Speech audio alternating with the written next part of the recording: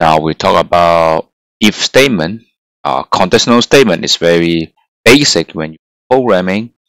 So here we just a simple thing if, because uh, when you write document, it is not very complicated logical relationship we need. So if is uh, should be sufficient for a lot of purpose, most purpose I would say. So how to define a if condition? So we have to say slash if, and you say if condition, and when we say condition true, okay, we set it to true, then this if con and fi, there will be the this inside will execute. And if you set condition true, uh, this will not be execute. Okay, so in this one, uh, if you run this thing, then this only this statement will execute. This one is not. Let's see. So I have a document. Uh, let's look at the uh, file. Okay, the document.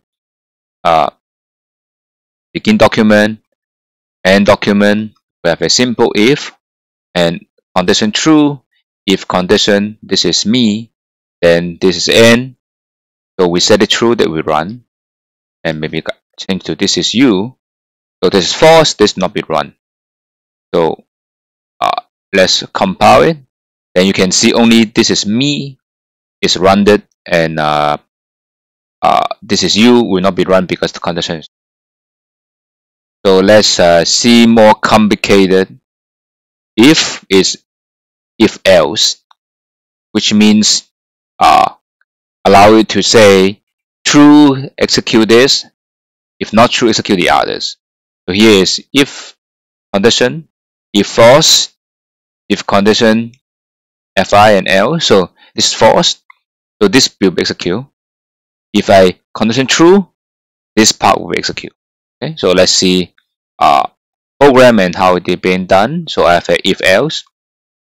So here i have condition true if con else fi then for this one i execute yes this is not me because true and uh, condition false? If con this is not me no this is you. False so no this is you. So when you look at the compile so that's why this not me is from this statement. No this is you is from second statement. So it's uh, rather easy to understand i hope. Uh, thanks for listening